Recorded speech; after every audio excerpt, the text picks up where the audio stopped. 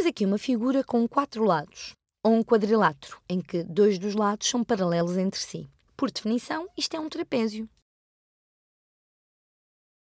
Trapézio. O que queremos fazer é, tendo em conta as dimensões que nos dão, descobrir a área deste trapézio. Vamos pensar nisto. O que é que obteríamos se multiplicássemos esta base, esta longa base com comprimento 6, vezes a altura 3? O que é que obtemos se multiplicarmos 6 por 3? Bem, isto seria a área de um retângulo com 6 unidades de largura por 3 unidades de altura. Isso dar-nos-ia a área de uma figura que pareceria qualquer coisa como. Vou fazer isto a rosa.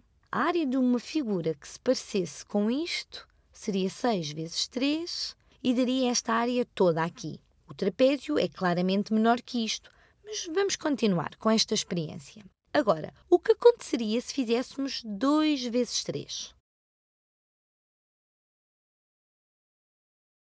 2 vezes 3. Assim, estaríamos a descobrir a área de um retângulo com largura 2 e altura 3. Podem imaginar isso como sendo este retângulo aqui, este retângulo aqui. Este é o retângulo 2 vezes 3.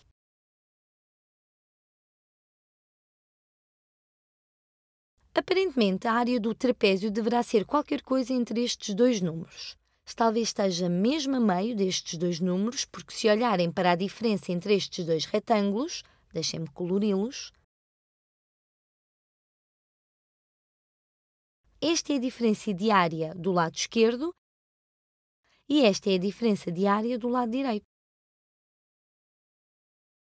Se nos focarmos no trapézio, conseguem ver que se começarmos pelo retângulo mais pequeno, amarelo, ele reclama metade da área, metade da diferença entre o retângulo mais pequeno e o maior, do lado esquerdo. É exatamente metade da área do lado esquerdo.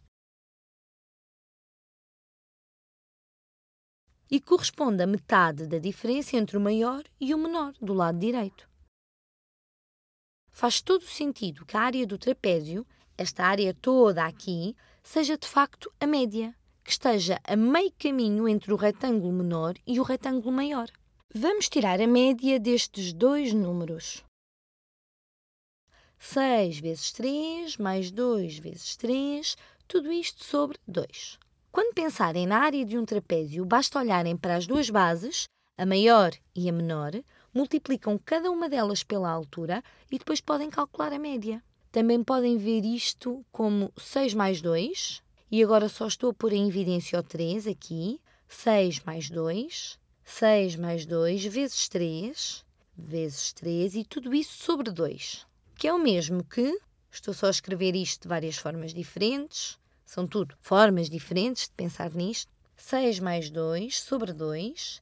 E depois tudo isto vezes 3. Podem ver isto como a média do retângulo menor e do retângulo maior e, nesse caso, multiplicam cada base pela altura e depois fazem a média.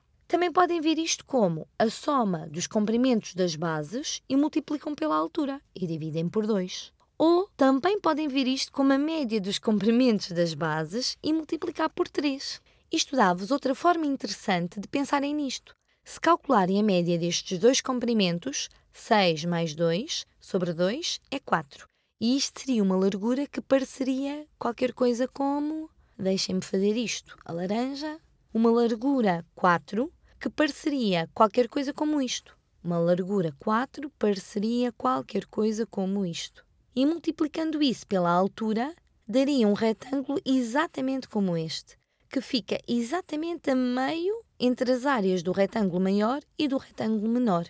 Isto são tudo afirmações equivalentes. Agora vamos calcular esta área. Podíamos resolver de qualquer destas formas.